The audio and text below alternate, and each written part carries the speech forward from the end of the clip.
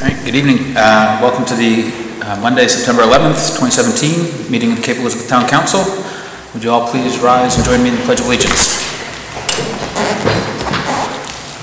I pledge allegiance to the flag of the United States of America and to the republic for which it stands, one nation, under God, indivisible, with liberty and justice for all.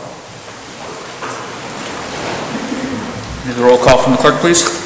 Chairman Garvin. Here. Councilor Grennan. Here. Councilor Caitlin Jordan. Here. Councilor Penelope Jordan. Here. Councilor Lennon.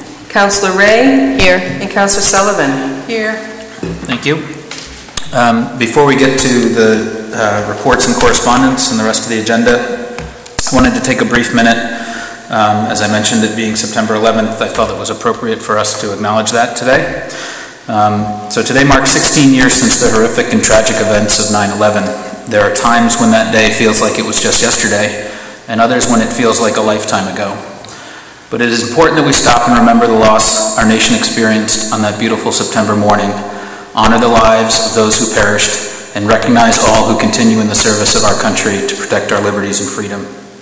I have previously remarked about how, while the terrorist attacks wreaked death, injury, and destruction, one of my lasting memories from that time is the feeling of unity and hope that brought our country together in the immediate aftermath of the tragedy. Americans coming together as one in the face of adversity is something that is not all that unusual. We have to look no further than recent weeks in Texas and Florida to see just that. But not in my lifetime do I recall a time when regardless of who you were, where you were from, and what you believed, for an all too brief moment, disagreements were set aside, people sought to help one another and lift each other up rather than tear people down. As a community here and as a nation, I hope we, that we continue to strive to uphold that spirit as a lasting legacy and living tribute to all those who were lost on that fateful day. And with that, I ask that you all join me and pause for a moment of silent reflection.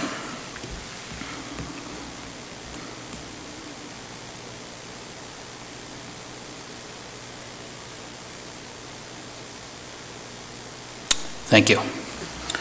We go to correspondence and reports, please. Jessica? Um, I uh, continue to represent the town in the Metro Coalition of Governments through under uh, Greater Portland Council of Governments and still involved with um, the uh, regional homelessness issue and um, I'm working on a presentation for Metro Coalition. It'll probably be given in a couple months.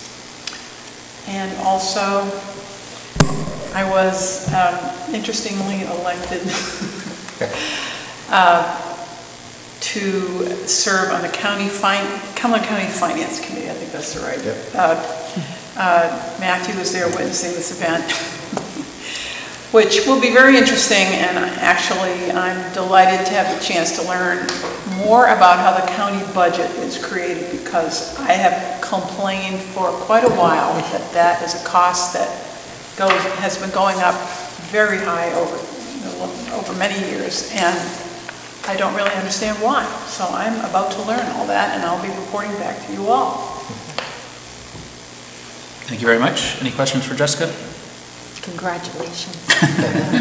Thank you for doing that. Condolences. Other correspondence or reports? Penny? I'd like to just uh, uh, continue to remind people about the comprehensive plan work that is going on. Um, And uh, we're hoping to engage as many people from the community as possible. And so if people would go on to the Cape Elizabeth website under Hot Topics and uh, select Comprehensive Plan, you can go and um, join a group. It's a online um, conversation. And uh, this week's uh, question, I believe, is about um, job creation in Cape Elizabeth. And so it would be great if uh, people could go participate. It's uh, currently there's uh, 65 members with 95 that are kind of pending. Uh, so if we could get uh, like over a thousand, it would be fantastic. So if we could go to the website and join the group, it would be great. Thank you very much. Any questions for Penny? Any other reports, correspondence? I just want to make mention of the fact that next Monday night, uh, here at Town Hall, we'll have a joint meeting with the Fort Williams Park Committee Um, First of what we expect to be several discussions around um, ongoing vision and strategy and issues uh, pertaining to the park. Um, So want to make sure everybody's aware of that. 7 o'clock, Monday uh, next on the 18th. So, Anybody else? Seeing none, over to Matt for monthly report. Do you want, do you want to do the- the dashboard? Oh, I'm sorry. Yep, thank you very much. Sorry, Yep. sorry, Mr. Yep. No, that's okay. You all have Keep your dashboard in front of you, um, and uh, things continue to look uh, very well. Um, Excise taxes are, continue to uh, bring in quite a lot of revenue. I'm going to ask Matt to mention, to discuss uh, cable franchise fees and a couple other items. I left him a message today, so I'm going to, at this point, give it over to you, Matt. Thank you, Counselor Sullivan. Uh, There's a couple different areas. We are still uh, tracking, uh, we're still waiting, I guess, to receive our final payment relative to last year's cable franchise fee. Uh, I continue my calls on there, but I think I may end up uh, working with the town's attorney to see if we may need to exert a little stronger pressure on that. I mean, it's just, it's not a large amount of money, but it's enough that uh, it's a, it's a point of principle that I think they should be paying. Uh, And they'll be uh, bringing their payments forward this year. Right now, we're tracking zero, just, just because we haven't received the first installment for this year. Uh, As Councilor Sullivan said, the excise taxes do continue to, to move in a positive direction, which is a good thing. Uh, There are a number of purchases that are, uh, according to, uh, uh, down in the collection office this morning, I was hearing from Terry Olson, uh, talking about a number of purchases that are taking place out of state, and folks are bringing in their automobiles and registering them here, so, uh, and pe- many people are buying out their leases, but still, our, our numbers still seem to track fairly strongly when it comes to excise taxes, which is a positive trend. Uh, Building permits as well uh, are still uh, maintaining last year's pace. Uh, We thought last year was going to be a robust, uh, was a robust year where we exceeded significantly by what we had projected due to some larger projects, but we do have, if you pay attention to the planning board agenda for next week, they have seven projects on next week's agenda, which is, uh, according to Maureen, the- the largest uh, single agenda that she's had in all of her years working here, and that's, and the weight of the uh, projects coming forward are fairly significant. Uh, So I I think we can anticipate our building permit fees to keep moving forward. And our sewer fees are up as well, and that's, uh, after speaking with Bob about that, uh, that's primarily due to new construction that's been taking place, with Eastman Meadows being one of the larger contributors to that, as well as if Maxwell's Woods comes on this year, uh, we'll see some additional uh, revenues that will be coming to that from the connection fees. Um, and our state school subsidy, you'll note, you'll notice that that as a number itself, current year-to-date, is down from last year. That's due in part to the reduction that we did receive from last year to this year. However, we are tracking a little bit greater when it comes to it as a percentage to this year's budget. Uh, we do anticipate that we'll, we'll, we'll have that staggering through as the year goes along. And there are no, uh, after speaking with Catherine, there are no school financial news updates to provide, uh, but that's just because they just started school last week, but they, we will anticipate uh, notable events, hopefully in a positive way, uh, as the, as the next few months unfold. Right, I think that was the length of it. Yep, and the only other thing I wanted to ask you about on the financial report was just to update the council on the fund of Portland Water District and the sewer connection fees. And, I mean, you've already touched on part of that, but I think that, um, uh, you know, with our sewer fund, you know, we, that's something we have to keep, keep our eye on, and it's a high-ticket item. We do, we do, especially with this year, we do have some expenditures that'll be coming out of it this year with the improvements that we have uh, going forward in the town center. Uh, But, uh, but yeah, we are, we are, that is something that we do need to maintain a, uh, an eye on, I guess would be the best way to put it. Thank you, Matt. Yep, thank you, Council Sullivan. Any questions for Jessica? Great, thank you very much. Anybody here looking to speak on anything not on our agenda? No? Uh, So now we'll go over to Matt for the monthly report. Thank you, Mr. Chairman. Thank you. As we transition from summer to fall, new programming is beginning at Community Services and at the Thomas Memorial Library.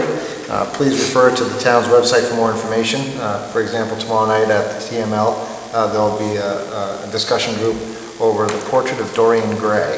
Uh, If you remember the story at all, that's a, it's a fairly fascinating story, but they will be having a discussion group uh, tomorrow night, so uh, there's more information for that online, as well as the uh, community services programming starts this week. So uh, they've been fairly robustly uh, subscribed to, uh, so things are going very well with that, but there are still opportunities for folks to to pursue if they're looking for recreation and other type of activities. The Hillway Scott Dyer uh, project is uh, progressing with substantial work underway this week on Hillway. Uh, Please be advised that now that school is in session, morning traffic is facing some challenges, specifically around pickup and drop-off time. So please leave some additional time for getting through this section of town, particularly in the morning where it seems to be more acutely uh, felt. I have some very good news. In today's mail, the town received a dividend check from the Maine Municipal Association in the amount of $16,875 as a result of our good loss experience and loss prevention programs. Uh, This is a result of our low loss ratio for the MMA Workers' Compensation Fund and the MMA Property and Casualty Pool. It's a direct result of our successful risk management activities and good loss experience. So that's a great way to start off the week. The Comprehensive Planning Committee, as Councilor Jordan had stated, uh, is very busy, and they uh, last week mailed out a survey to all condominium owners in Cape Elizabeth. Uh, Roughly 337 surveys, I believe, were were mailed out.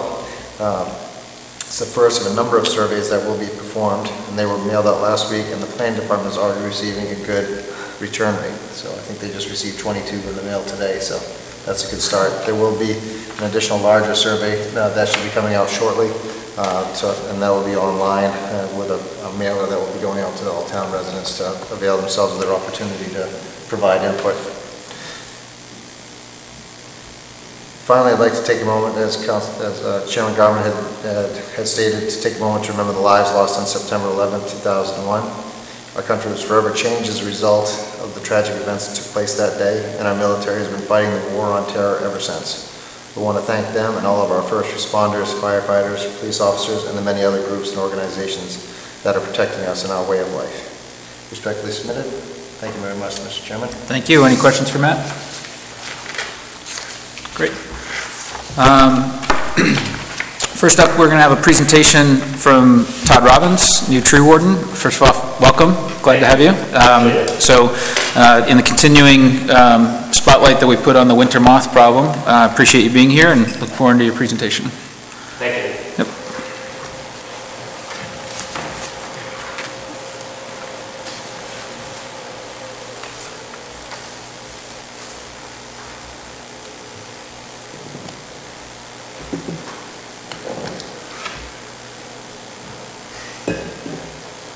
Hello. My name is Todd Robbins. I'm the Cape Elizabeth Tree Warden. Uh, My full-time position is the Assistant Property Manager at uh, Ram Island Farm for the Sprague Corporation. Um, Not too many people are able to say they're working two dream jobs at the same time, but I am. Um, I take it very seriously. I take the position as tree warden very seriously, so um, if there's any doubt that, you know, uh, that side of the uh, town is being taken care of, it is, because uh, I care very greatly for it, and, you know, my position with the Sprague Corporation as well. Um, I've been with the uh, Spragues for 13 years, so I'm very familiar with uh, what I'm going to talk about, the winter moth. Um, I've taken down many trees that have succumbed to the winter moth epidemic. Um, I will give you some information factual. I'll maybe throw some uh, opinion in there. And that opinion is based on um, my experience to this point, my schooling to this point, um, and, but I'm always learning. Um, I'm not God of tree. I, you know, I have more experience than, you know, most, um, but every, if it is an opinion, uh, take it with a grain of salt, so. Um, So behind you, uh, a little uh, winter moth identification. Uh, The first figure, the one on the left, that is the adult male moth. That's what you're going to see um, late November into December on warm uh, winter nights. A lot of people have seen this uh, as they're driving at dusk uh, in their car headlights. Uh, Now, some people have claimed it looks like falling snow.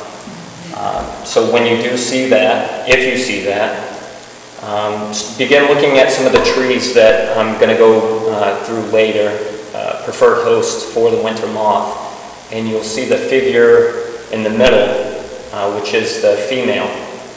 And the female uh, is wingless, is flightless, uh, looks like a cricket almost. Um, And if you go up to the uh, tree and look at the base of the tree, you'll see those. So when you are seeing these two, the first and the second, the mating process is uh, ongoing. Um, And again, uh, weather has a lot to do with that, so um, we have had some warm winters here, um, and obviously a lot of activity. So the figure on the right, that is the uh, winter moth caterpillar. That's what everybody's been seeing. Um, Early spring, there is a temperature 53 degrees when the, um, at bud break, when you begin seeing these caterpillars. And um, I started this job around that time, I think around April 1st to the 15th, and people were seeing this, and I got a lot of calls right off the bat. What do I do? What do I do? Um, so uh, these are the little guys that eat the buds, they eat the flower buds, they eat the leaf buds off the trees. They pretty much strip them uh, when the density is high.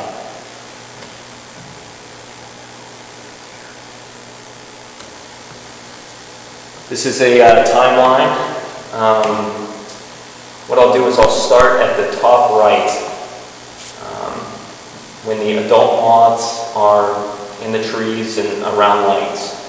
Uh, we're talking a uh, November through a January timeframe that you can possibly see this, the activity that I spoke of earlier. Um, This is when the mating process is going on. Um, Hopefully, this is when I, uh, you know, I'm a one-man show here, so hopefully residents will um, call me, let me know what they're seeing, so I know where um, the concentration is in town, uh, because it's become quite uh, widespread, uh, from, you know, Scarborough all the way to South Portland, so.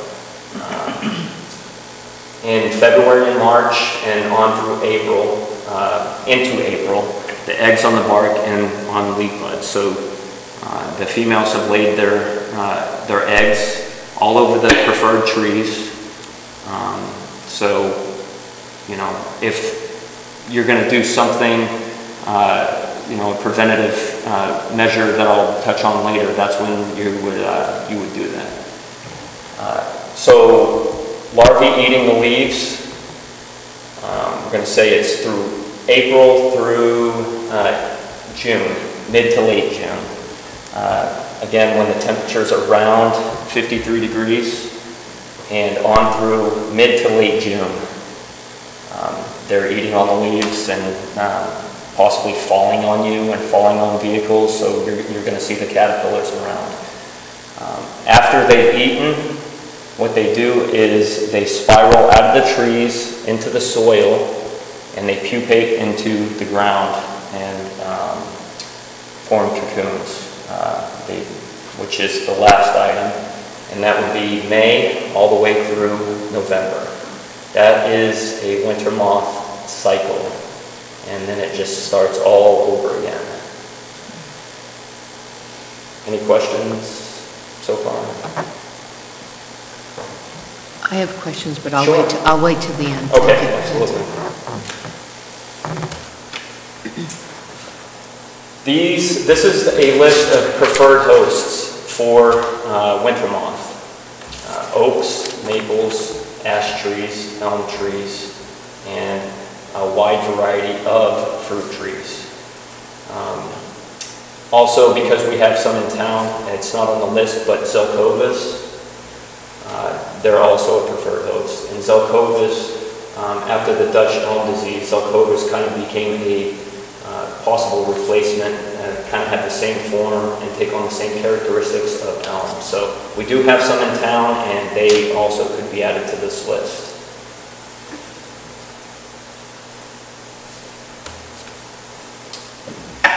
Now, this, um, actually, that's one of my favorite pictures. That's on Ram Island Farm. That's a shagbark hickory, and uh, to the back to the left, that's an American elm. That's a true American elm, so I, I love that.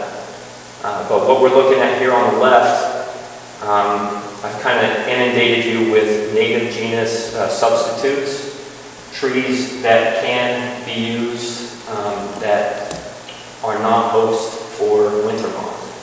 And if you kind of just scroll through that list, it probably doesn't mean a lot to you.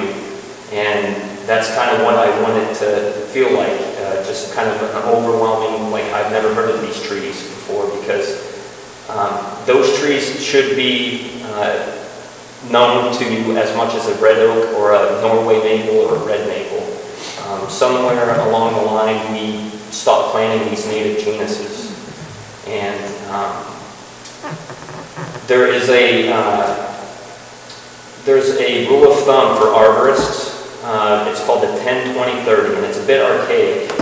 Um, but when planting within a municipality, uh, only 10% of your trees within a municipality uh, species, there should only be 10%. 20% of a genus and 30% of a given family. So to give you uh, an example, um, red oak. Red oak is a species. There should be only, uh, according to this, 10%. But revised, most people believe that there should be only 5% of, uh, of a species. We have over, in this town, over 40% of our woodland trees are red oak. So you go from the preferred 5% to, you know, 40% of the species. That's, that's incredible. So um, every tree that I put in, that I have put in, um, I've been, I want native, and you may ask also why, why is it so important that it's native? The reason it's so important to be native, in my opinion, is because if you plant native, it will never become invasive. Um, if you look up invasive, the first word that you're going to see is non-native. Um, landscape plants that have become the bittersweets and the honeysuckles and um, the multiflora roses, they were landscape plants at one time, um, uh, but they're not native, and now they've become uh, invasive. So never will you see a tree planted by myself or by Public Works that will ever be on the list for uh, invasive. So there are more, there's more native genus substitutes that we can use and I would like them to become more of the repertoire of what we know um, because they're just as good of a tree as a red oak or a red maple um, we just have to kind of get that into our vocabulary a little bit, and I would like to kind of help that happen. So, um, very important. Cyzenis albicans. Now, this is the uh, parasitoid fly um, that you may or may not have heard of. Um, it is a non-native uh, fly that primarily feeds on winter moth. Its life cycle parallels winter moth, and there have been two releases of this at uh, Two Light State Park, which was pretty much ground zero for um, where this activity, had, uh, winter moth activity began. Have not yet made contact with the person who did those releases. I will. Um, but I'll also say that I'm, a, I'm the tree warden. I'm dealing with standing dead trees. And, you know, I, I hope that this parasitoid fly does its job. But I also believe that maybe there need to be other releases, considering that the epidemic is so widespread now. So I'd like to actually, you know, encourage that to happen somewhere along the line.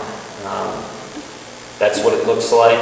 Um, and uh, again, two releases, and it maybe takes seven to ten years to actually get the winter moth population 30% under control.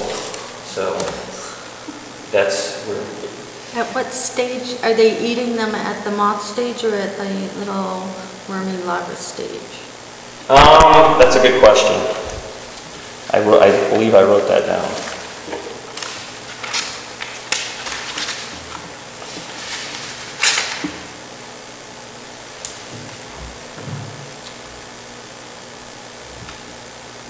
Um, all stages. All of them? All stages, yes.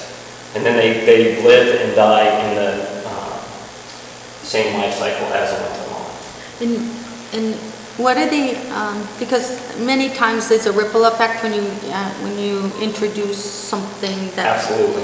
And so, once their f- food source is done, what's their next? Exactly. Well, they, they perish. They're gone until their next life cycle.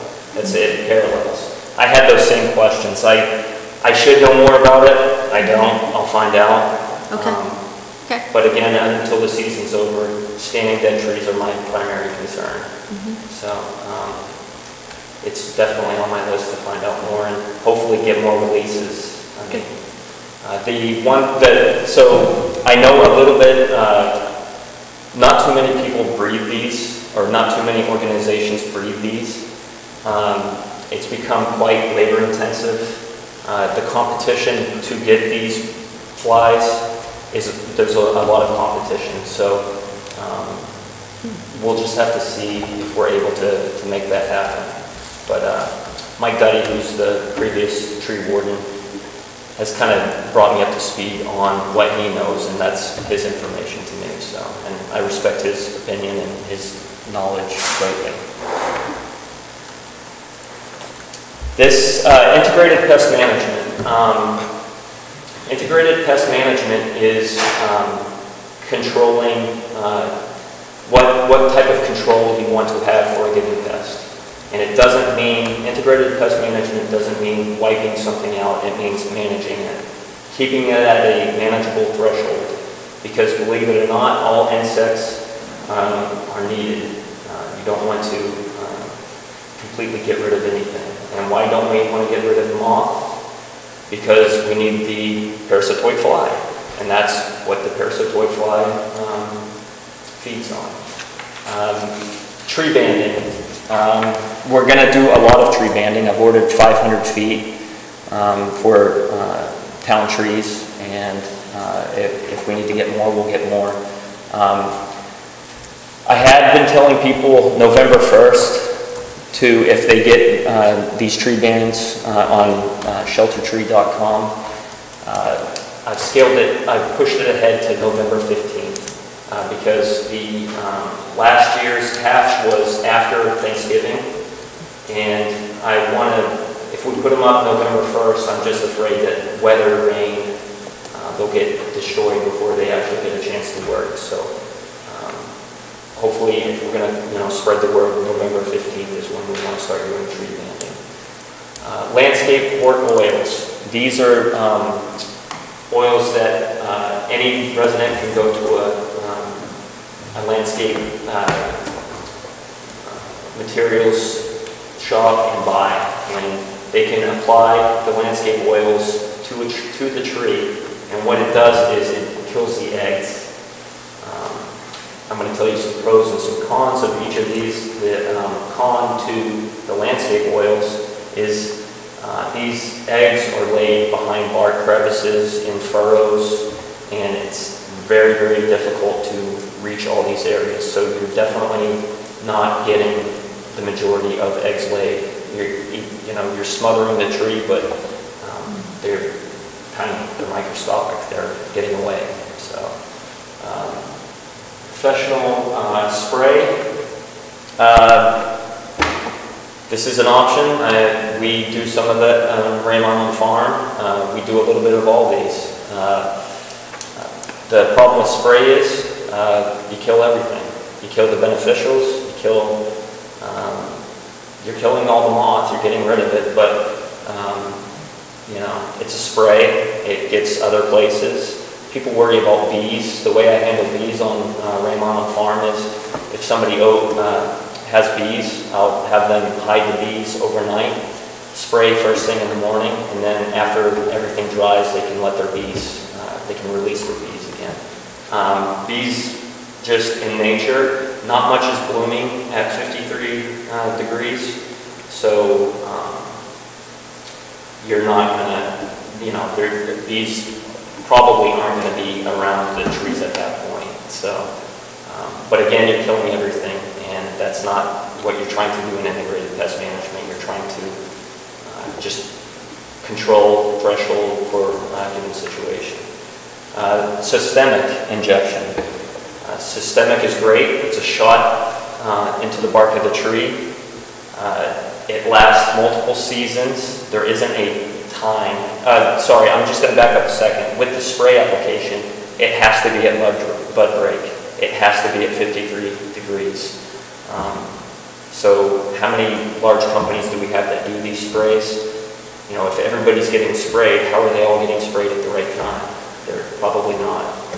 Um, But the systemic, you can, you could do it right now, and it would last multiple seasons. Uh, It's expensive, it's more expensive than a spray. Um, But, and the other problem with the systemic is if there's any rot in a tree, uh, the uh, systemic will flatline. It will not move throughout the tree once it's hit uh, anything dead within the tree. So these are all options. Um, I just give information and I'm not really prefer, I have no preference uh, to one or the other. Um, You're just trying to manage and I think all of these do that.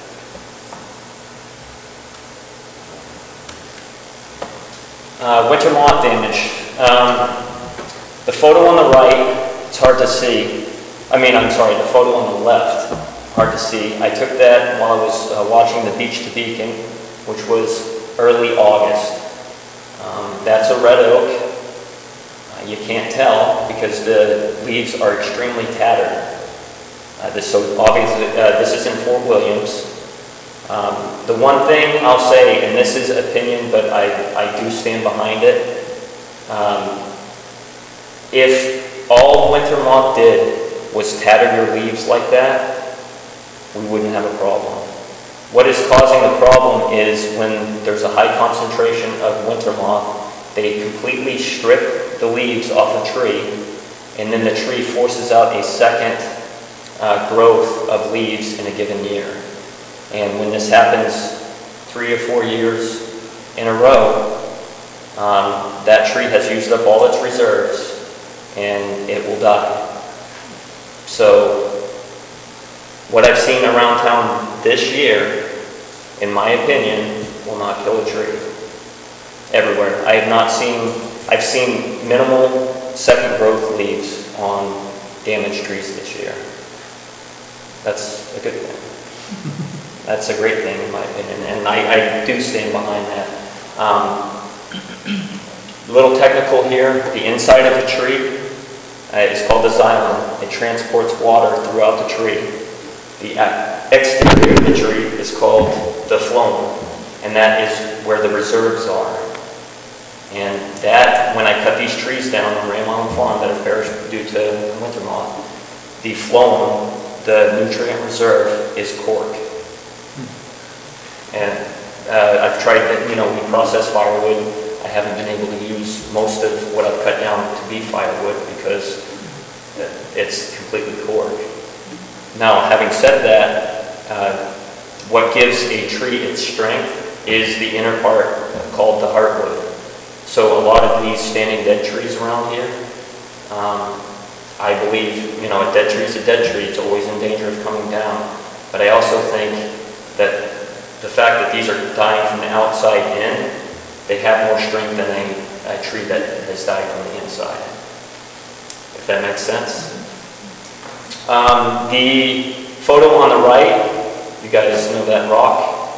Um, and behind it, uh, many, many uh, dead red oak trees. Um, Mike Duddy did tag many of these trees on Route 77 and Old Ocean House. Um, the ones that are stand, still standing are private homeowner trees. Um, so my mission after tree banding is to um, get with every, figure out whose trees they are, get with every resident and do my due diligence in uh, convincing these people, whether it's walking outside and deciding which trees are risk to um, public safety, can we get these trees taken down? Will you take these trees down? Um, And we'll see how that goes. But that, I'm kind of taking things incrementally here. Um, So I am going to do that. That's going to be more of my, a wintertime thing. I'm just going to make sure that all these trees are still tagged, so we know what trees are dead and which trees aren't. But I do want to talk to residents that own these trees, so we can um, make this area safe again.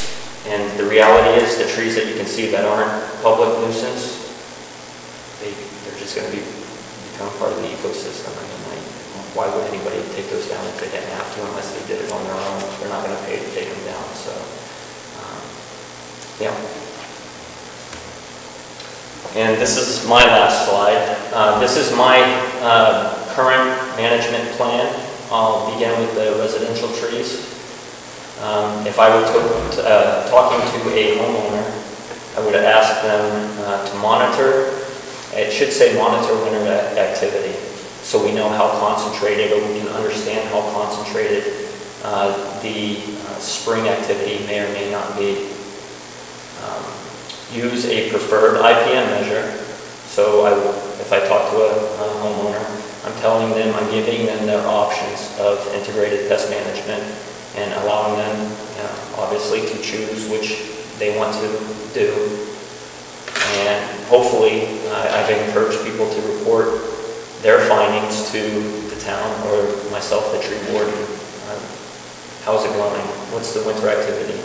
Uh, If you banned it, are you collecting uh, many uh, female moths? Just kind of give me a heads up, yes. I had, a- I had always done my reporting on the state's site. Sure. Uh, Do you have access to their data? Do they send you or send us reports at all? Okay. No. No, so, so I assumed that it was magically coming back here. so- No, again, this, this is, I'm, I'm new to this. Okay, Um, Maybe this is something that Mike has gotten in the past. Uh-huh. I don't know of anything like Okay. that. okay, I'm kind of, I'm kind of just hoping people give me heads up, so I know myself. Okay. And if there's somebody I need to be reporting to, well, I guess I'll figure that out, someone online too. okay. Thanks. Um, Town trees, so the trees that I am responsible for. Um, I'm going to monitor uh, winter activity. Um, Tree banding, select areas. Um, I had a discussion last night with the trees that um, Mike Duddy was thinking about uh, banding. I'd kind of like to stick to that plan. Uh, He was the tree warden for seven years, so again, I respect where he's coming from in in all this.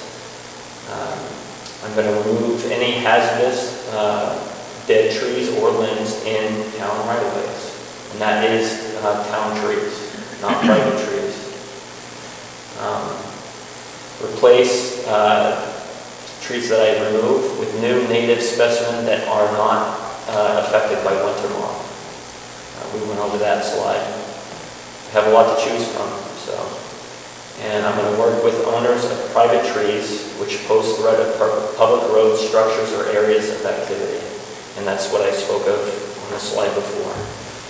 Um, I'll do my best to see if we can get some of those removed. And that's all I have, so any questions that you have, I'd love to answer. Go ahead. Sure. I think there's going to be Hi, um, lots. I was waiting. Go ahead, Kathy. Um, uh, Where we live, we have thousands of these moths, thousands. And um, we also have mostly oaks. Sure. And so, um, a couple of questions. Um, The bands, and I think Mr. Malley had talked about this last year. Um, The bands are available where? Sheltertree.com. Is- All one word, shelter tree. And that's not locally? It is not local, Okay. but it's Massachusetts. And do you have any idea of the cost? Um, we bought uh, 500 feet, so you can buy 30-foot rolls. I'm not sure of the uh, cost of those, but the 250 uh, foot rolls were about 800 to 850 dollars delivered. Okay. Um, And you talked about um, invasive species and non-invasive species. Um, And I'm hoping that um, your presentation will be, maybe we can put this on the website on, you know, like a, a- you know, like it scrolls up to the top, because I think other people will want to know about this. But are you talking about, you're not talking about oaks versus something else? Or can you tell me about the invasive, invasive species? Uh, And what, what do you mean by invasive species? What- A- You know, a lot of people don't know what that means. species, Yes, yes, An yes, invasive sir. species is a uh, non-native landscape plant that um, takes over and moves um, at at its own will. Um, Like an oak tree? Spreads. Like Like, an- an- well, um, so an acorn will sprout, Right. Correct, but it does not move invasively, and and a red oak is native.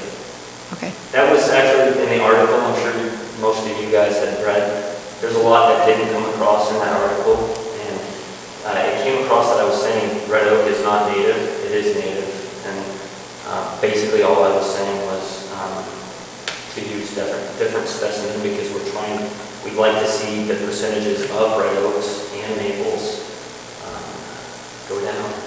Because we are finding out why you don't want forty percent of a species in a municipality, because if we lost all of our red oaks to a disease or an insect, how would the smell look? It would look very bare. You would not have a lot of, most of the trees that we have, so. Thank you. So, so with, um, we know that there's development going on in town, and that um, in developments, there's a certain number of trees that are, uh, need to be planted. Are we going to come up with a list of trees that we encourage the developers are planting, so that we are helping that transition? There is a street tree list, and I, I need Bob's help a little bit as to the ordinance or where they can find that. I believe that list was recently revised by Mike Duddy, maybe in the past couple of years, and I think they looked at invasives and looked at species that are tolerant or uh, not susceptible to winter moth. So that's been updated fairly recently. Good, good. Jessica? Um, Thank you. It's Thank great you. to meet you. Yeah, And you um, thank you very much. I, I was just pulling up the, the homepage on the town website and just to piggyback on a couple um, thoughts that have already been expressed. It might be a good idea for residents and for you as well if we had uh, a winter moth uh, bulletin under hot topics perhaps, and also maybe a direct link in that to your town email so that residents can get a hold of you uh, with questions, and maybe Sure. somehow uh, they could tell you if they reported, as Council Jordan, Penny Jordan said, to the state. So I, I always report to the state because I'm like surrounded every November. I was going to suggest to Wendy that we maybe have a little short Yes. web form and work with her on developing That- that. that would be You know, just the, you know, Yeah, with 'cause if quick, peop- quick fields and details and drop downs and stuff like that, so Yeah. we can, we can take a look at that. Residents have been able to reach me through the website. Have they? They have been emailing me, they have been calling me, Okay. so. um, At first, they were, you know, getting directed to me through uh, the Public Works office or uh, Town Hall or something, but it is on the website, my, my cell phone number and my email address, so people are finding that. Well, that's good. I, I just, you know, it's not, you don't It's see it easy. right away. Right. So maybe, you know. Sure. yeah. Okay. Other questions? I um, fantastic information, thank you. Um, so the, um, average person probably doesn't know, you know, a lot of what we just went through. Exactly. Would you say that, um, you know, if, if folks are working on landscaping though, they're hiring professionals, that, that that's, this, this information you just shared with us is pretty well known in the sort of professional community about this? Or, um, do we need to be doing a job to not only educate homeowners, but also maybe some of the people they have doing the work for them? Well, definitely landscapers need to be um, schooled on this. Uh, I would say, and this is just a guess because I don't know, I would say the local landscapers do know um, about winter moth and have a reasonable understanding about it. Um, If you're a Cape Elizabeth resident and you have um, a company from Portland coming out, who knows? Uh, They don't have a winter moth problem there. And the other problem with that is, um, a big reason this is spreading um, to Scarborough and to South Portland is because of movement of landscape materials. So when these uh, winter moth are are pupating in the soil, and the landscaper comes along and rakes up the soil and throws it on his truck and takes it to um, the transfer station, he, and, you know, that's processed into mulch or loam or something. The next person goes and picks up a a truck bed of loam and takes winter moth to their house. So um, it's not out of the question that, I mean, this could be happening in Portland, um, and and they just don't know it yet. Uh, If it's not that concentrated and the the leaves aren't being that um, damaged, maybe they're just not noticing. But uh, landscape materials are a big reason why this is, all of a sudden, in the last uh, couple of years, it's, there's, it's in pockets now. And that's how these winter moth act. Uh, I have some spots on uh, Ram Island Farm, uh, apple orchards, that you know, an apple orchard, I know that if I didn't protect it, it would get demolished. And then, uh, you know, less than a mile up the road is another big uh, orchard, Spurwink Farm. Maybe some of you know it. That has never been hit by winter moth, which is very odd. Mary Lou wanted to get that sprayed this year, Mary Lou sprayed, and I convinced her not to. I said, you know, if you can uh, just hold out and wait to see whether you get hit and you can, you know, that season you lose out on your, on your apples, then let's just wait and see. But, you know, that this is how it happens. It, it happens in pockets. And, um, you know, two blocks down, they may have a really bad case, and where you are, you may not have it. Have it. But, um, and I'll say it again, uh, you may have seen a lot of winter moth. Um, I believe, in, uh, the other thing I do believe is possible is that now that it is as widespread as it is, maybe it's not as concentrated, and maybe that's why um, I did not see any oaks being stripped. I didn't see any maples being stripped. Um, fruit trees, I think the fruit trees were having a little trouble this year, uh, this year anyway because of last year's drought. So if you've noticed, a lot of people were looking at leaves and just saying, you know, they, it's just not as full this year. I think a lot of that, that was not winter moth, that was drought. Um, because uh, a tree will show signs of drought in the fall, the year after uh, a drought year. So and we also had some drought this year, so we may have some weak trees next year as well. But um, if you're not getting the tattered skeletonized leaves, that is not winter moth. I have two other quick questions, but go ahead, Penny. Um, You talked about different uh, IPM practices. Uh, One of the things I didn't hear you say, which you may have, when they, the, um, when they're in the soil, are there applications that can be done at the soil level? Or do you try to always catch them at the egg level? No, not that I know of. Okay. You had mentioned the um, deadwood and town, uh, there's both town trees as well as private property trees that may be in danger of um, causing damage.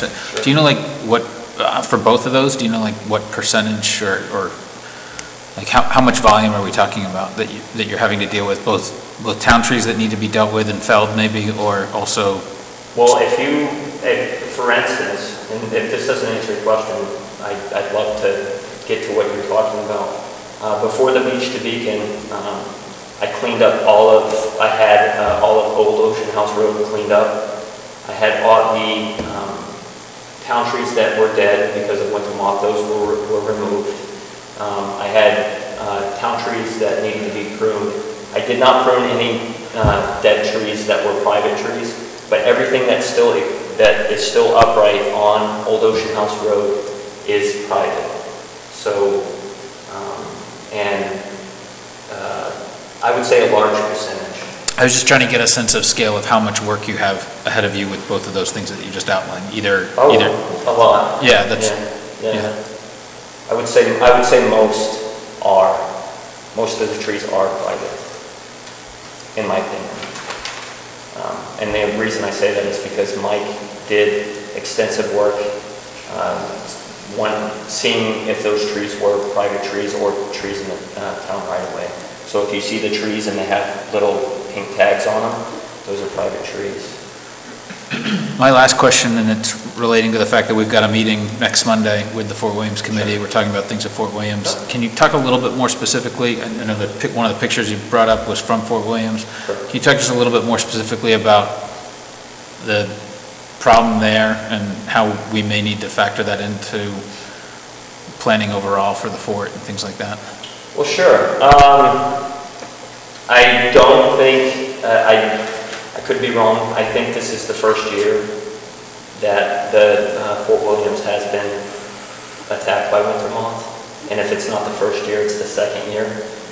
Um, What I saw this year in Fort Williams, um, if that, again, if that was all that happened, if that's all that winter moth did, those trees would not die. Um, My suggestion there would be, um, and I was going to do this, was put up some banding there. And so when you have a grove of trees, what can happen with the banding um, is that the, they can go from tree to tree. So if you ban one in a grove, you, you need to ban them all to, um, you know, so they're not jumping from tree, from one tree that has a ban to another, so. um, uh, They, you know, the infestation is there. Um, Some level of integrated pest management does need to be levied there, but you're not going to have, next year, you're not going to have dead oaks because of winter moth. And in my opinion, in the next couple of years, you're not going to have um, dead trees from winter moth. Um, It's a question of winter activity. Um, If we have an extremely cold November and December, chances are the winter moth aren't really going to be that concentrated or that bad. Uh, If we have warm days, uh, it could be greater because that's when they're doing their, uh, their mating cycle. Um, You can't backtrack and ban after the fact, so I believe in being proactive there. But um, I also believe that um, they're relatively safe at this point. You're not going to have trees that are going to die this year or next year. Does that answer your question? Mhm. Okay. Anybody else? Just one ahead. one quick point Yeah. uh, to Councilor Jordan's question. The uh, accept- acceptable trees that are, uh, that the town recommends are identified in the subdivision ordinance, uh, page 45 and 46. So when uh, projects do come forward and they do uh, need to do plantings, they do have a list of trees that are acceptable within the town uh, right there, so it's readily available, so folks can can look at that. It's a fairly extensive list, so uh, if if people need to have it, that's where they they do it. And I know the planner and the planning board review that fairly extensively too, to make sure that they they have the appropriate trees versus oaks and maples that have traditionally been planted, so. Just thank as a follow-up, sure. All right, thank you very much. Thank It's you, Very, guys. very good stuff. Good to meet you the all. information. Thank you. Likewise. Thanks, Doug. Thank you. We'll move on. Uh, Next is a review of the draft minutes, of the August 14th meeting. We'll Be looking for a motion to approve the minutes. So moved. Patty, is there a second? Thanks. Second. Penny, any discussion? Jessica? Yes. On item uh, 112, 19 Wells Road Tower Overlay District zoning map amendment. It shows one abstention, Councilor Penelope Jordan. Uh, This is a question for the clerk, Deb Lane. Technically, according to town council rules, we cannot abstain. Councilor Jordan was essentially not voting because she had recused on the same item at a prior. So my, my concern is, could we change that to more accurately reflect, reflect what actually was the reason? Okay, Thank you. yep. Good catch, thank you. Any other comments or discussion? Pardon? I I'm just, I said good catch. Any other comments or discussion? Seeing none, all those in favor of um, approving the minutes of the August 14th meeting as amended uh, by Council Sullivan? Great, thank you very much.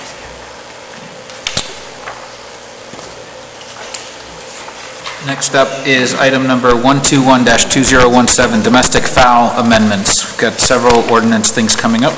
Patty, I assume you'll be introducing most of these? Yes, I will. There you go. Um, So just by way of background, you might remember um, that earlier this year, the council received complaints from a citizen regarding neighbors' chickens continually getting into their yard. So in July, the council referred this issue to the ordinance committee for review and asked the committee to draft amendments to regulate domestic fowl. Uh, We discussed possible amendments at two August meetings and decided to propose amendments to the miscellaneous offenses ordinance, chapter 12. Um, This would regulate owners of domestic fowl to keep their animals off private property unless they had permission. Uh, We received input from Chief Williams, um, and as well, the amendments were reviewed by Town Attorney John Wall. Um, So I'm sure that the council may have some questions. Um, I'm happy to put a motion on the table, Jamie, whatever, however you'd like me to propose to move forward.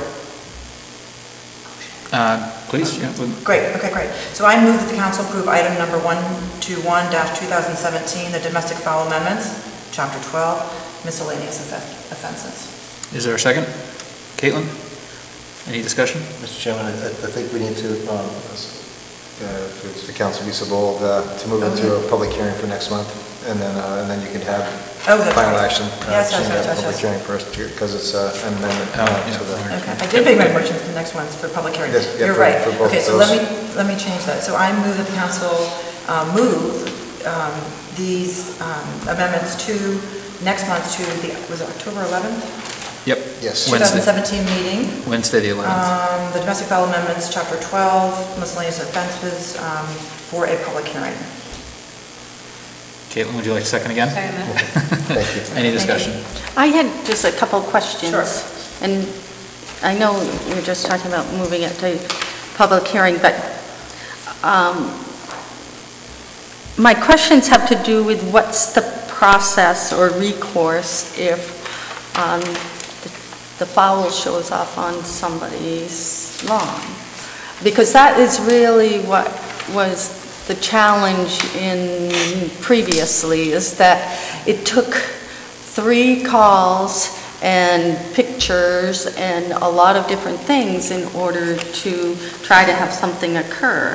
So it's like, how many complaints do you have to have? Is there anything that the police can do to remove animals? What is the recourse if this were to occur? Yeah, well, I think that when we talk to Chief Williams, I think that they, the, the big thing that they do is try to really work with property owners and kind of come through the ear thing, but this, what this was able to do is, um, give them some, some teeth into the ordinance so that they could come through and and lay the law down saying that it's not to be in someone's yard, that we're getting a complaint. So I think before it was, the- the- it was a little more open-ended, so, and didn't specifically say, because there was a list of animals, it wasn't in there. So now it just says animals, there's no list, so it gives it a little more teeth to say this, the chickens are actually covered.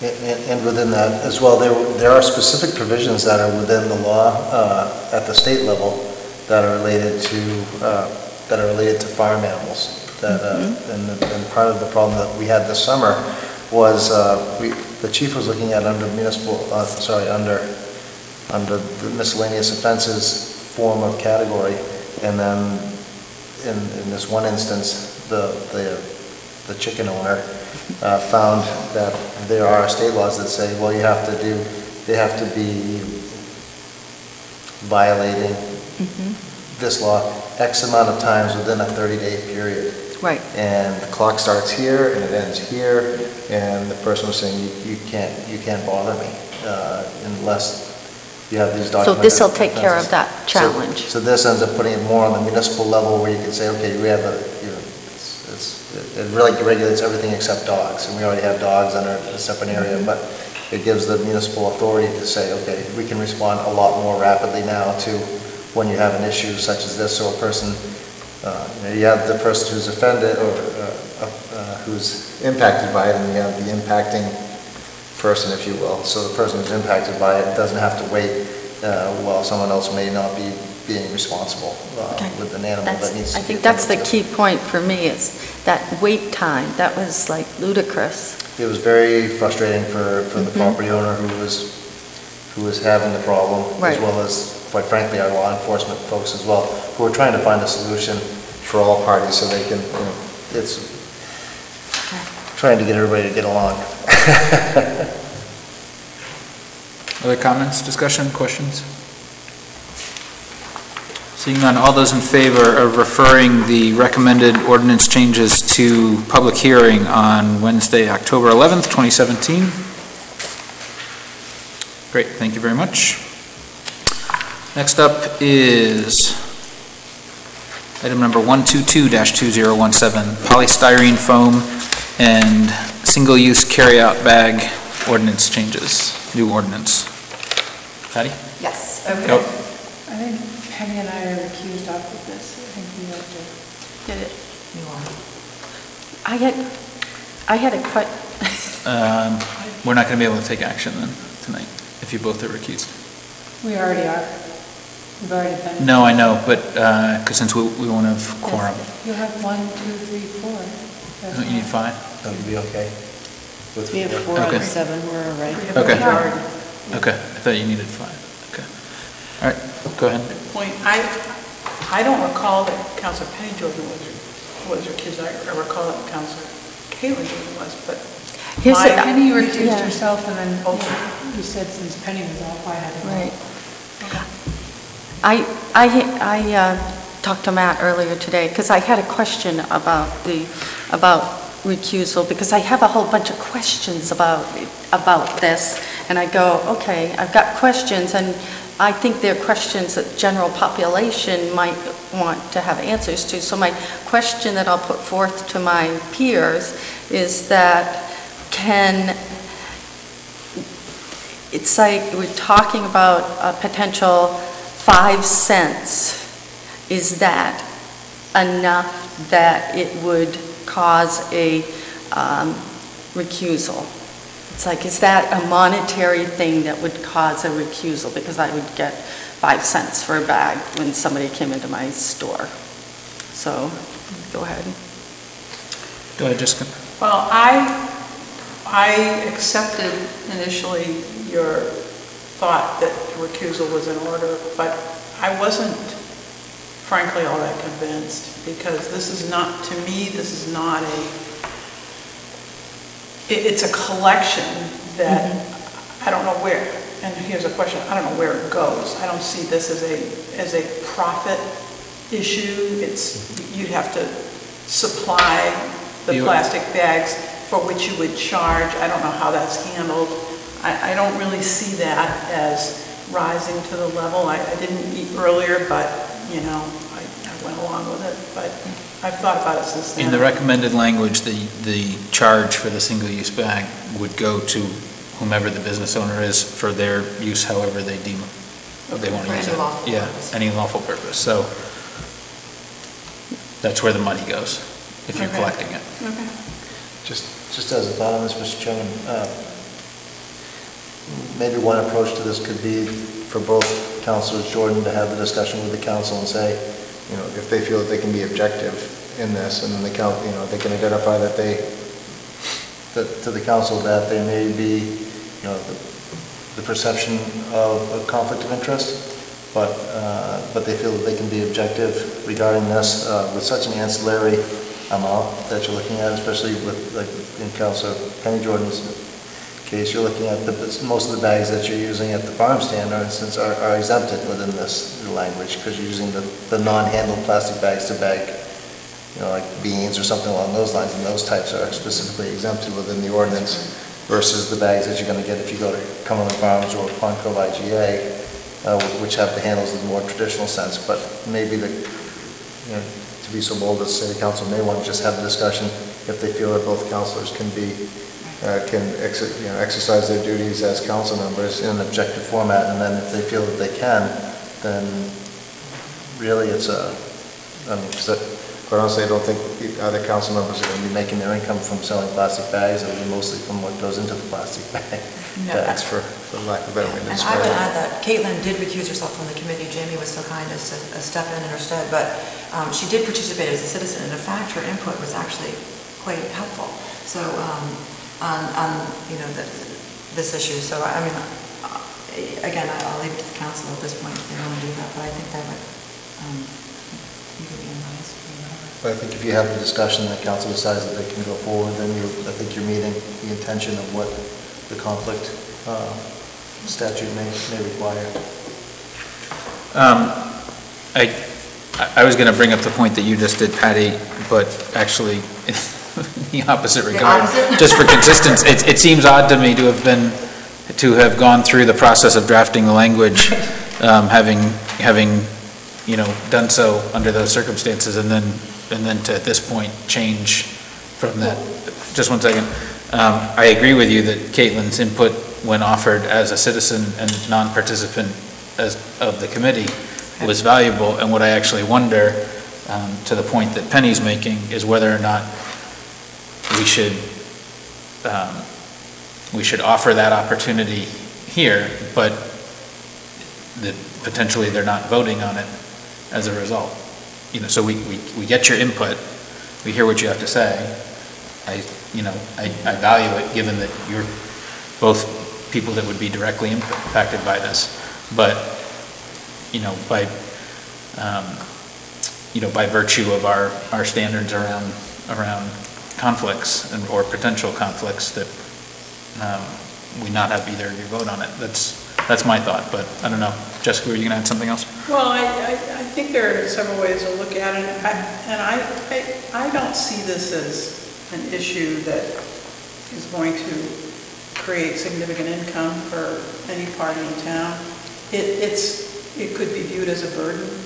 Yeah, my point actually isn't about the income so much, it's just about the, the impact, you Yeah. know, um, and being something that they're directly affected by, but, um, and again, my bigger point is around the consistency. I mean, we went through multiple months of, of ordinance committee meetings with the decision one way, so, I just, Go ahead. to to point out though, I only had to, and I don't even remember recusing myself, I just didn't show up because I was told that because there was recusal from town council, it automatically recused me out. So I never officially recused myself. Oh, I didn't know that. Off of council, off of ordinance, I was just told not to come.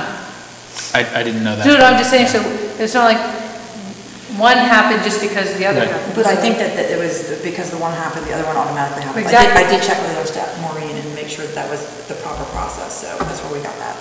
Jessica?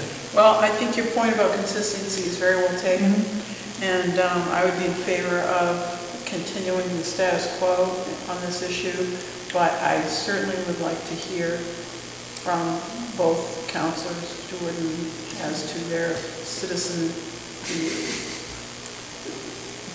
That makes sense? Mm-hmm.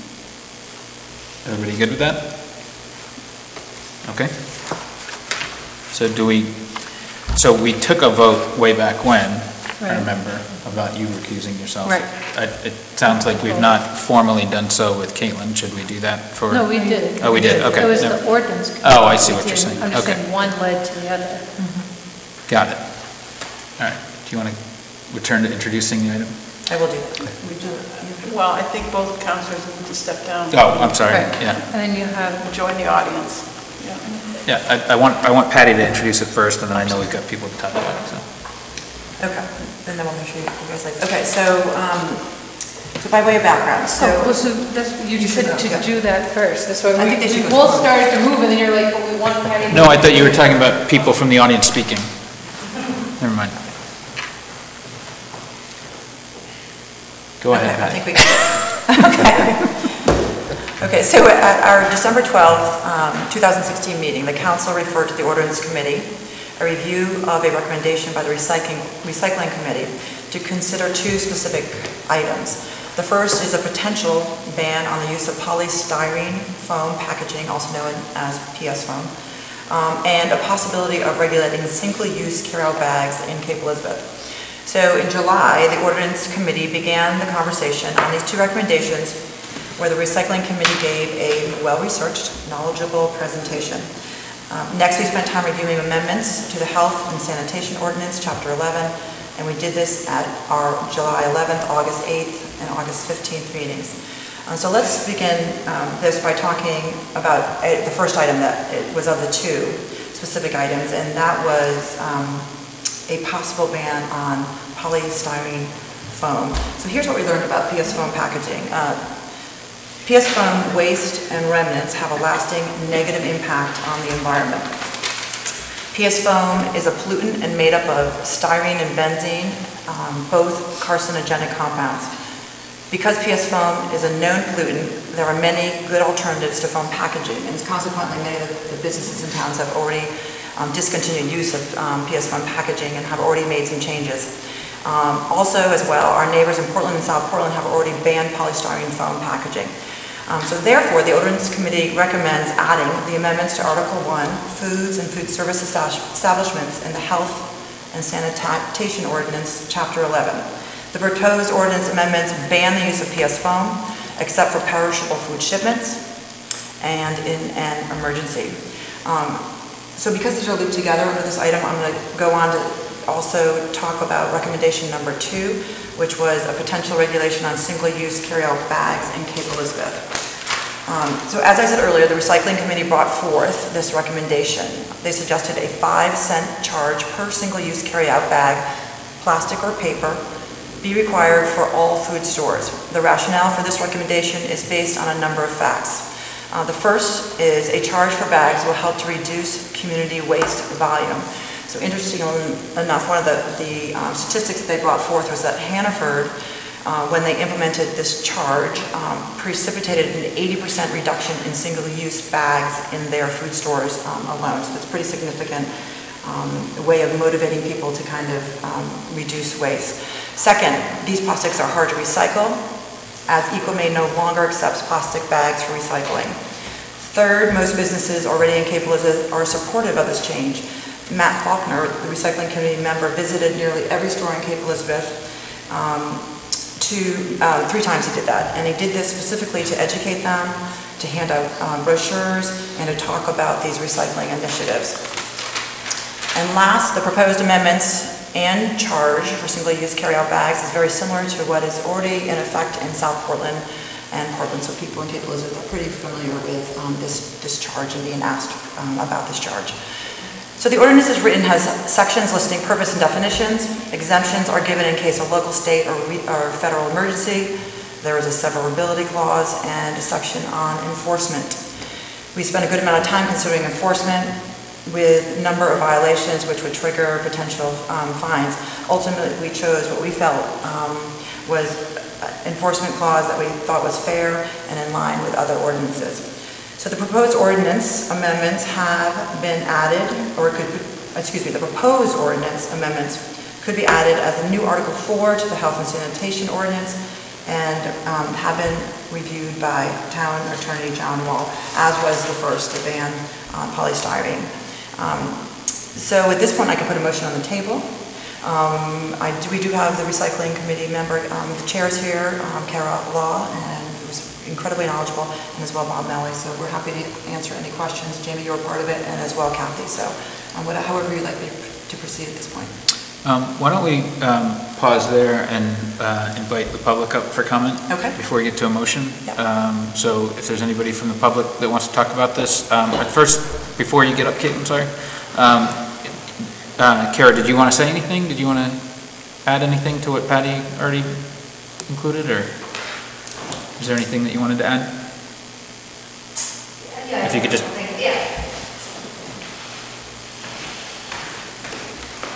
So Kara Lavender Law, 31 Macaulay Road. Um, So first of all, thank you, Patty. I think that was a very nice presentation summarizing the ordinance committee meetings.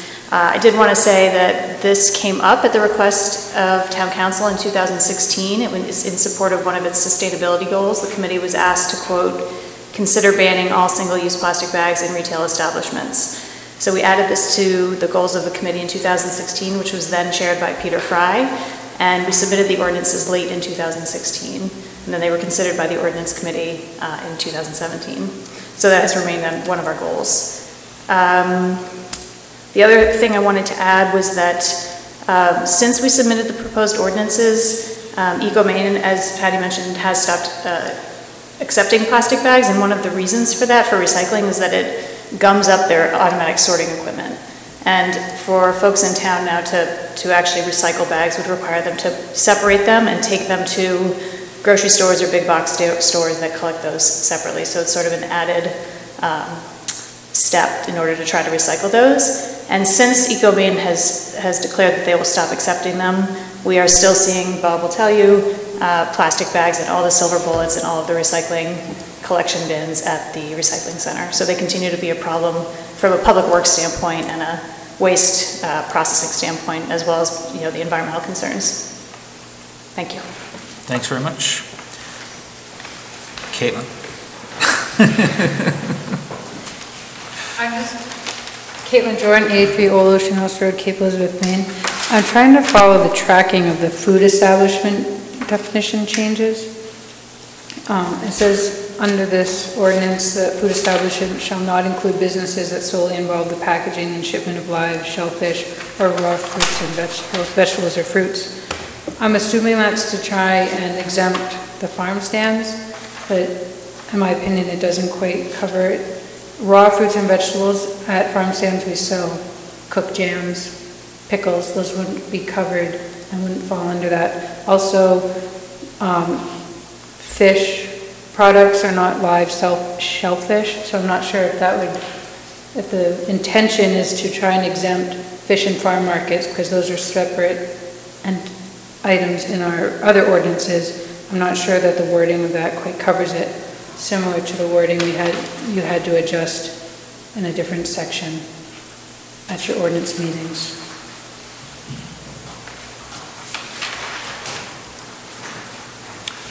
Just to follow along, you're talking about, Yeah, I'm trying to find it. um, I think, it's page four of the PDF, page two of the actual markup, is that right? Yeah. Okay.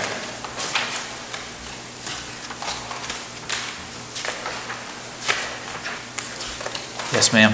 Hi, Penelope Jordan, 21 Wells Road.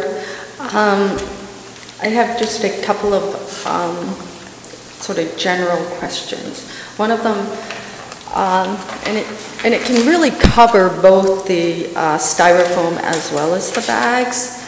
Um, If, for example, an organization is having uh, food trucks or food vendors coming into town for an event, does it require that those, uh, those one event vendors would not be allowed to use styrofoam and would not, and would have to charge for bags?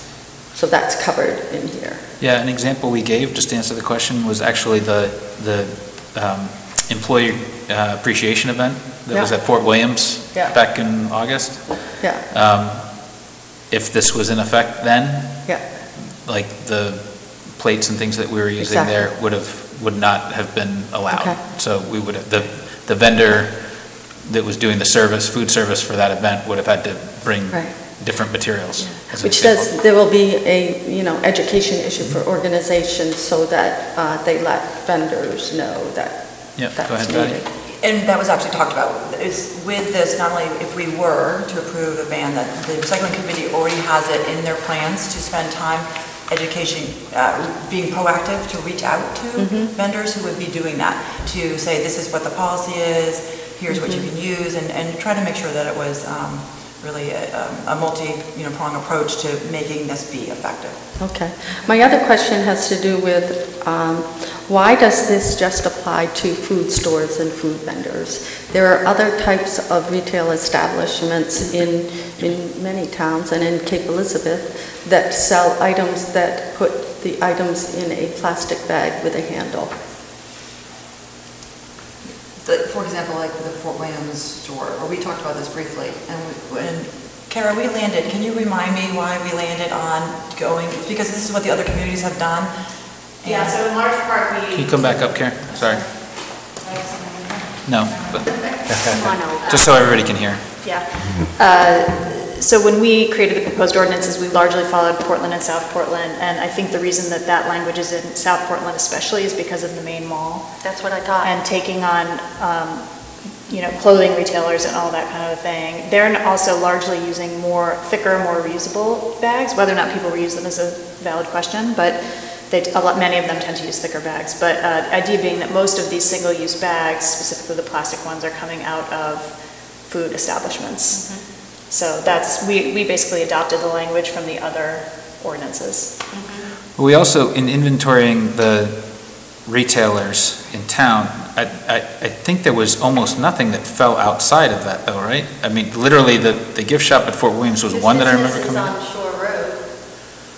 A clothing. But, um, that aren't That using. are not food establishments. Right, but I also don't think that they're using those types of bags anyway. Uh, Do you have an Did- example? Sure. Yeah, I, I mean, I think the committee would be perfectly happy for town council to broaden the scope of it. Uh, You know, this was, again, just sort of following what had been done. no, it's a fair, it's a fair point. Yeah. Uh, I, I think, I think it was, my recollection from the meetings, it was more through the lens of what, what do we have currently, but that's a fair point, And where are the bags? yeah.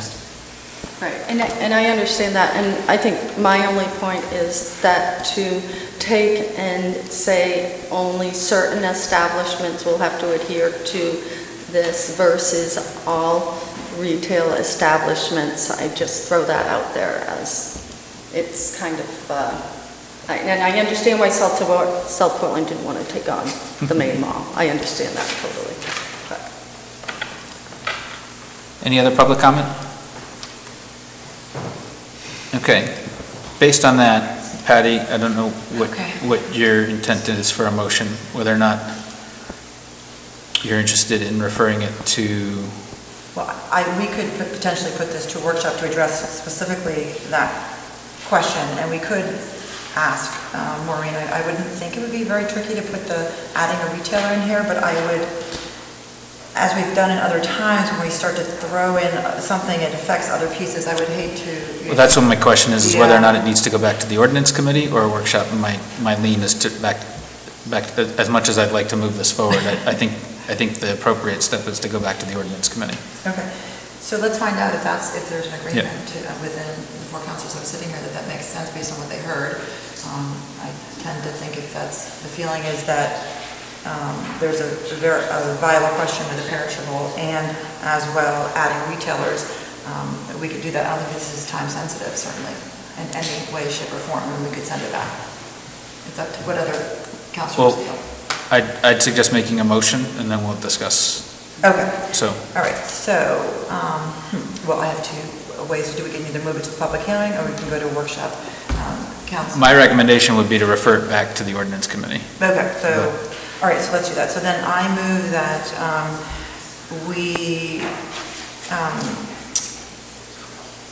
that we move to move this um, conversation regarding um, potential ban on, actually, um, so let's do this. I'm going to do this. On behalf of the committee, I move to set a public hearing for Wednesday, October 11th, 2017, for the proposed amendments to the PS foam. Didn't we feel like we could do that? No?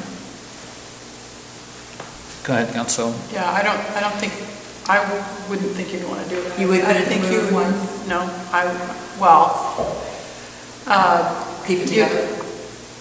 I would take them both back to ordinance committee. Okay, great. All I I right. think, yeah, because they're all under the same Chapter 11 Health and Sanitation. Okay. area, And the language is fairly well married to each other. It may be, it may be cleaner, I guess, Councilor Grennon, to, to to go that route if you if Okay. you so choose. So I move that we, um, Can, Move- actually, bef- I'm sorry, before you make your motion, when is the next ordinance committee meeting? we didn't have one because we, um, so we could schedule one, which is typically they're the Tuesday after. Um, This meeting, we- I can certainly reach out, Jamie and Kathy, and set something up in the next um, few weeks. We didn't have one scheduled at all. They I- usually I- The reason I'm one asking the Tuesday. question is, is it possible to, with one stone hit, scheduling an ordinance committee to deal with the questions that have been raised, but simultaneously setting a public hearing for the 11th, so that we have new language that's being brought forth out of the ordinance committee for that. But Based on history, I would say yes, because um, I'm here, Kathy seems to be, um, have been readily available when asked, um, and as well, you, I think we could probably make this happen uh, for the meeting. So I, I think we could do that. Um, Again, Jessica, you have good thoughts usually. Well, I I don't, doesn't the council have to approve exactly what goes to the public hearing? So it seems to me that you wouldn't be doing this, you wouldn't, we would have a discussion on the next town council meeting and a public hearing in November. Okay, so, Because- makes sense. Okay, so we need to move this back to the ordinance committee. So I, um, at this point, I will move to um, direct the conversation regarding um, the ban on PS foam, as well as the- the potential single-use carry-out bag um, charge back to ordinance co- uh, committee for consideration for the two um, items that were brought up this evening. is there a second? Second. Kathy, discussion? All those in favor? All right, thank you. Item number 123-2017, general assistance appendices. Matt? Uh, Mr. Chairman, this is, uh, as many council members may recall, this is an annual occurrence uh, that comes about this time of year. The town receives recommendations from Maine Municipal Association for uh, revisions that take place uh, to the general assistance qualifications and uh, different language, so this is an annual event. Uh, We did receive that uh, recently, and it's looking to uh, help us out with our uh, following standards going forward. Great. Is there a motion?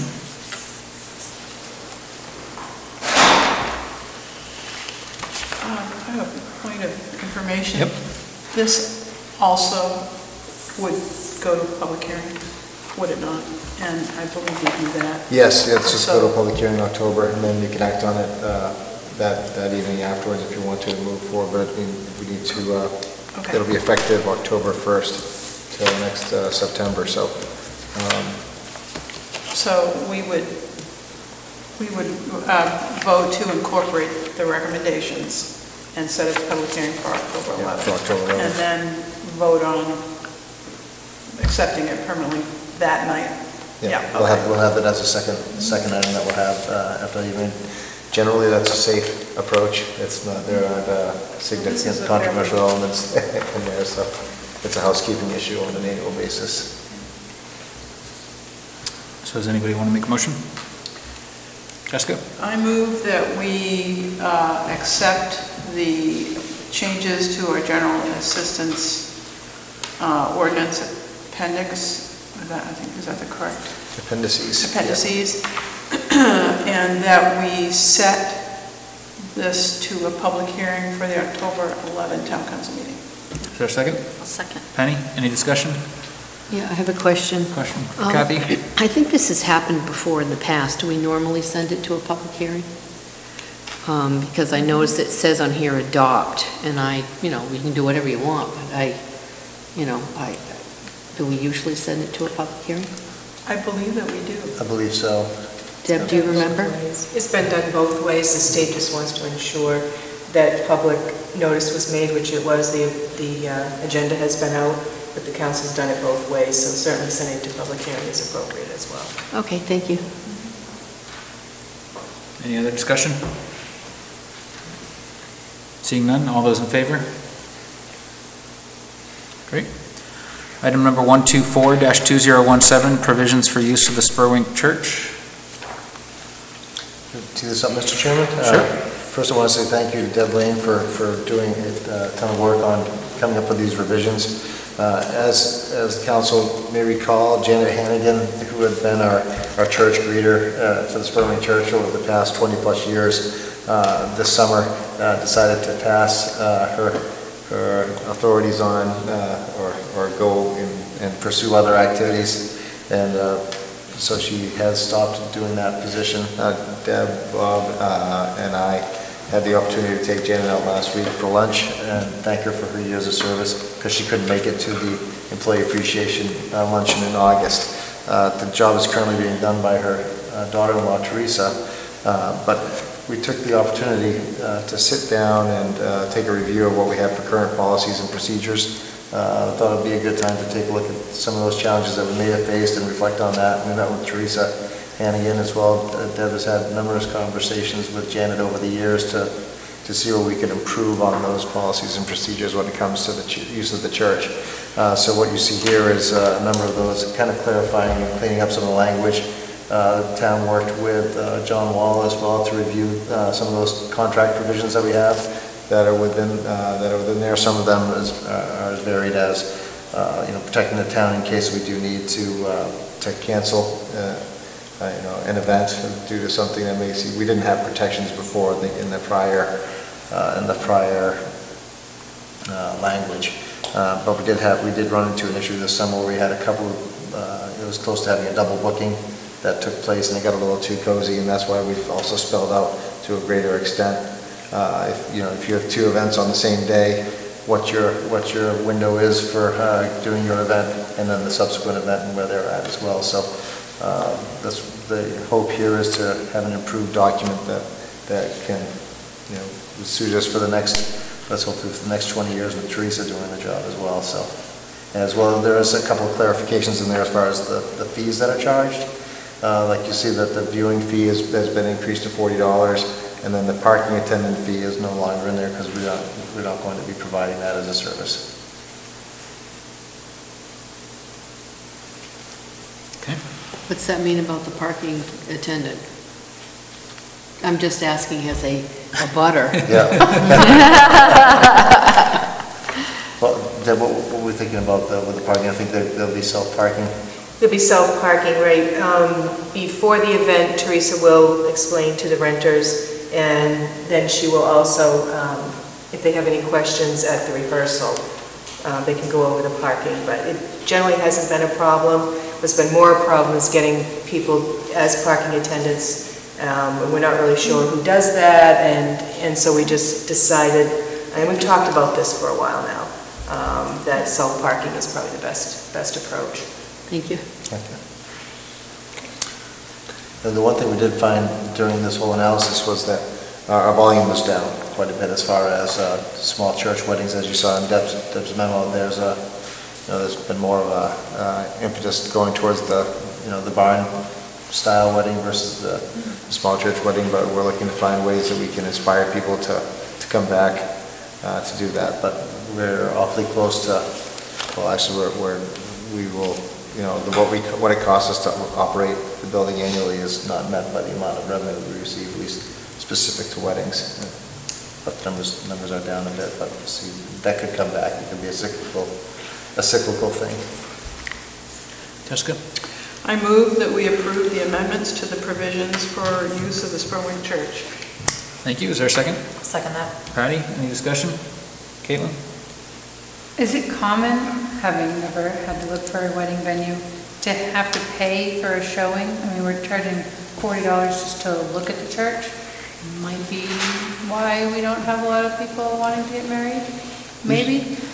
Um, Just, and then, oh, my other question was, what is the reason why you can't throw even artificial flowers or petals or anything? I mean, if you're gonna have a little church wedding, everybody wants a little flower girl, so maybe we're not helping ourselves in selling the church that well if you, you know, can't have a flower girl at your wedding. Of it's been the cleanup. Right, but I mean, if you put it on, the, the wedding, already in the rules, it says you have to clean up everything, so, or you forfeit your deposit.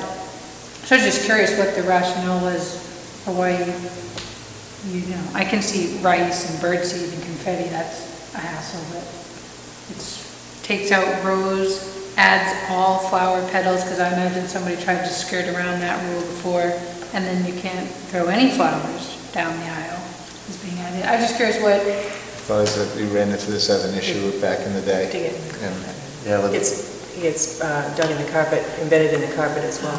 Yeah, Some of see, them actually so stay in the smart. carpet, depending on the carpet's down, so. Yeah. It's a protection for uh, maintenance of the, Yeah. Carpet. Carpet. Yeah, I didn't realize it was carpet, I just assumed.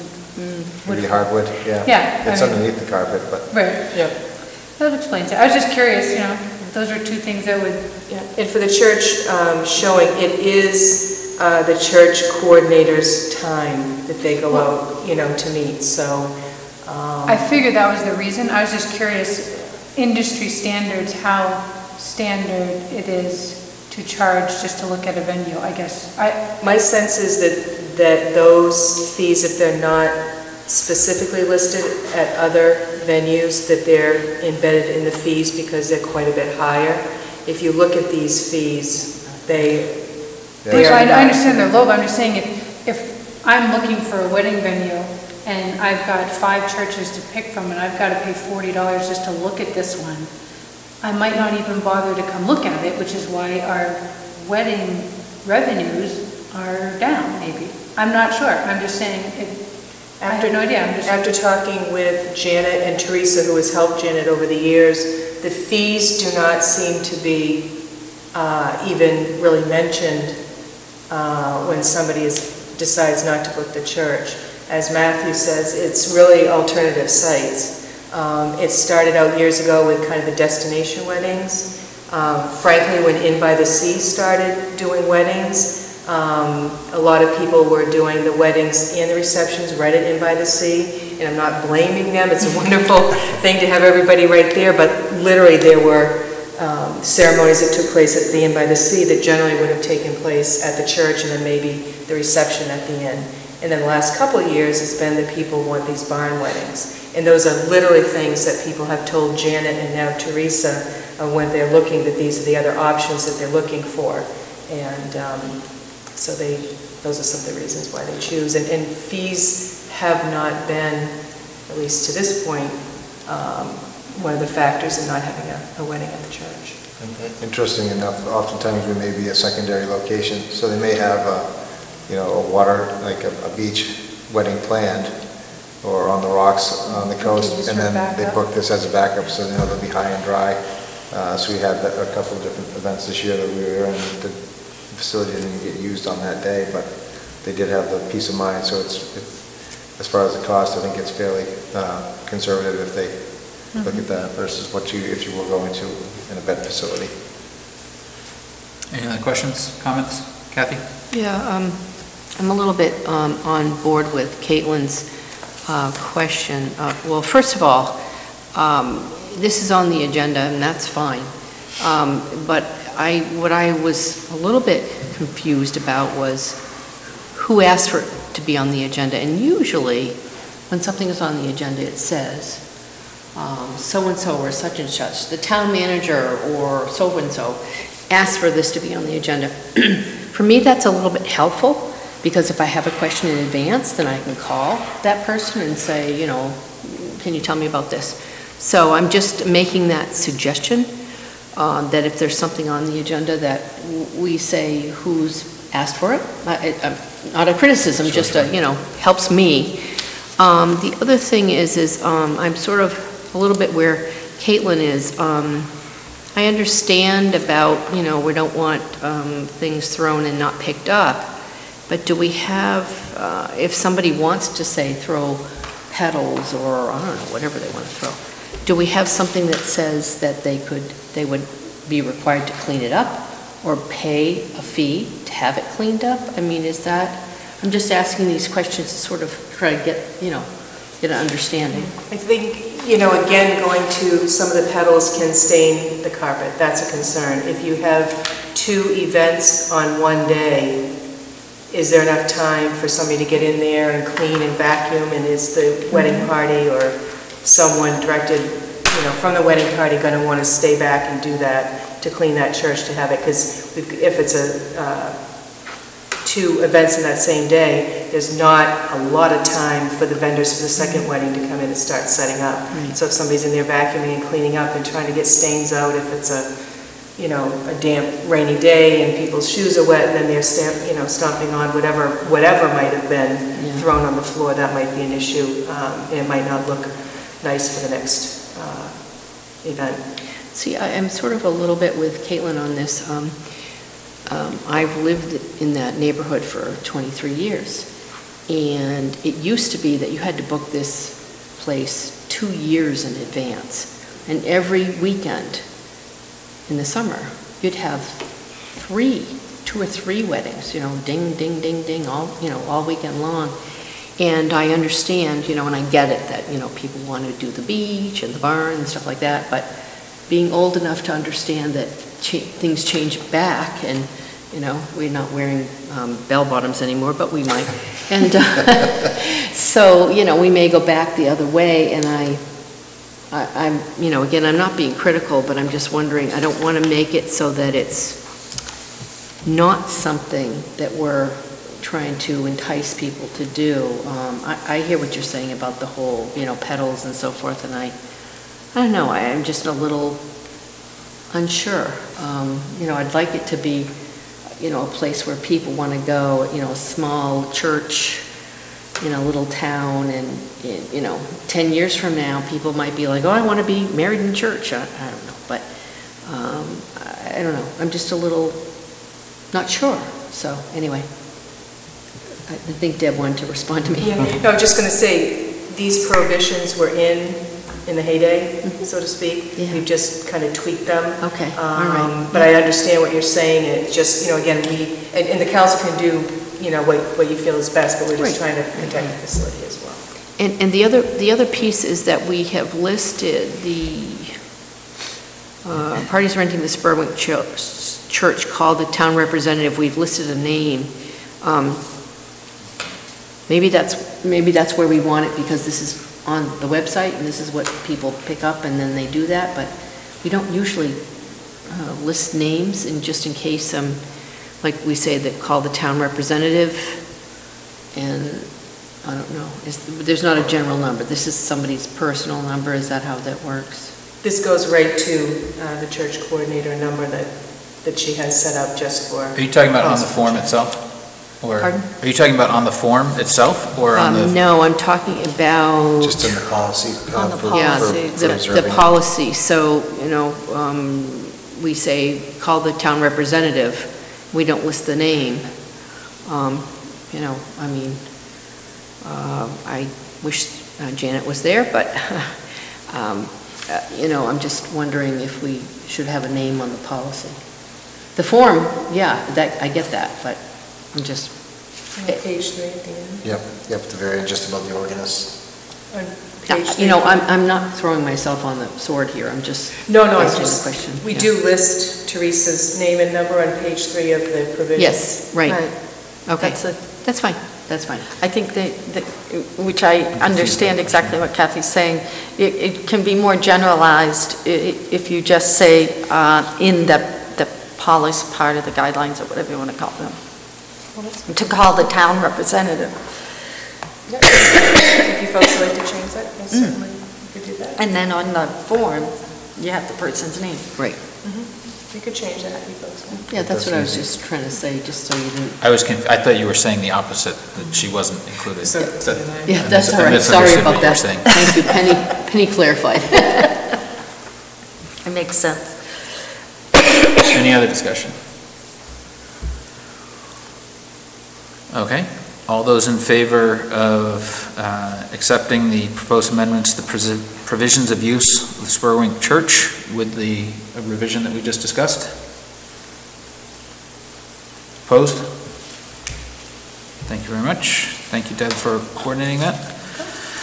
Um, Next up is item number 125-2017, updates to the board and committee supplemental documents.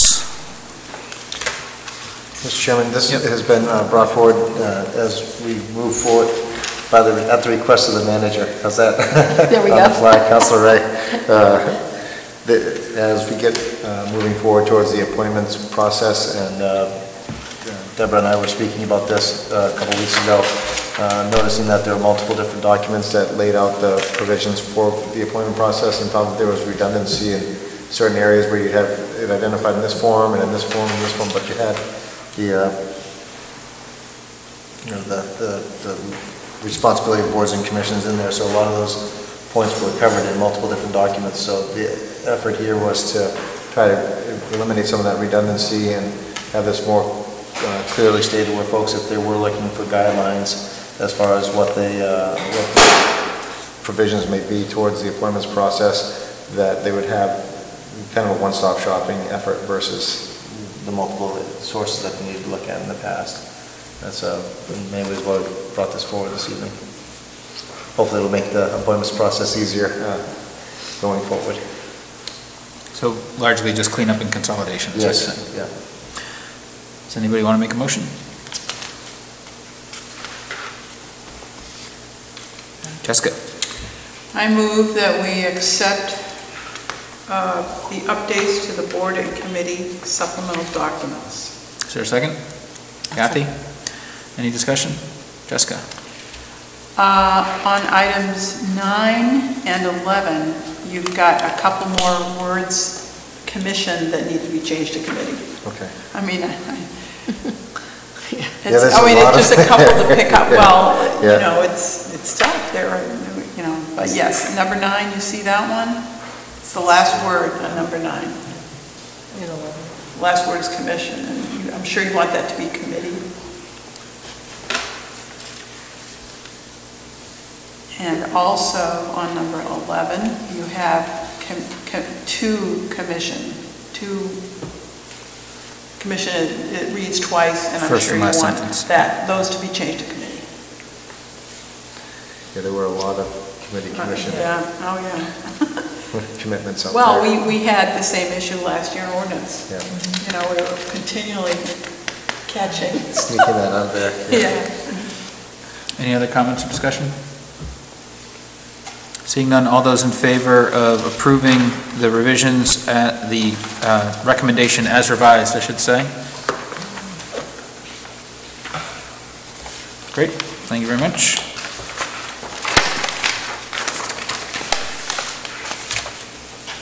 Next up, uh, number 126-2017 municipal election warrant. Uh, Mr. Chairman, this is uh, uh, generally uh, the time of year where we end up setting the municipal election warrant. Uh, This is, the intent behind this, to let the general public know that on November 7th, 2017, uh, there will be an election held in the town of Cape Elizabeth where there will be voting on council members as well as school board members, as well as there'll be the opportunity to to weigh in on uh, state ballot uh, measures that come forward as well.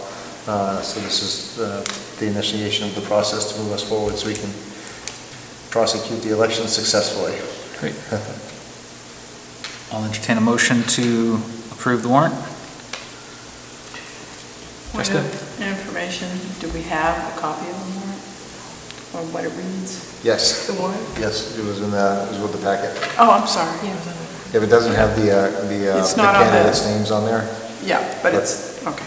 it should, uh, just double check there. It wasn't Yep. on me. Okay. Is there a motion? Um, Patty? um, I move to approve item number 126, 2017, uh, municipal election warrant. Is there a second? Second that. Penny, any discussion? Seeing none, all those in favor? Great. Um, Next up is item number 126-2017, Town Manager Evaluation. I'll entertain a motion to enter into executive session. It's actually item number 127, isn't? Oh, yeah, it should be 127, Yeah. actually. Thank you. I'll take that up with Deborah tomorrow. It's okay. Figure it out as we go here. I want, I just want to clarify, um, so if we vote to go into executive session, we're going to go into executive session. The citizen opportunity for comment is at the conclusion. Were you guys here to comment on anything? Okay. The the Red Sox game must not be very good. Is there a motion to enter into executive session? Jessica? I move that uh, in conformance with 1 uh, MRSA Section 4056A, we enter into executive session to continue the discussion of the evaluation of the town manager. Is there a second? I'll second that. Patty, any discussion? All those in favor?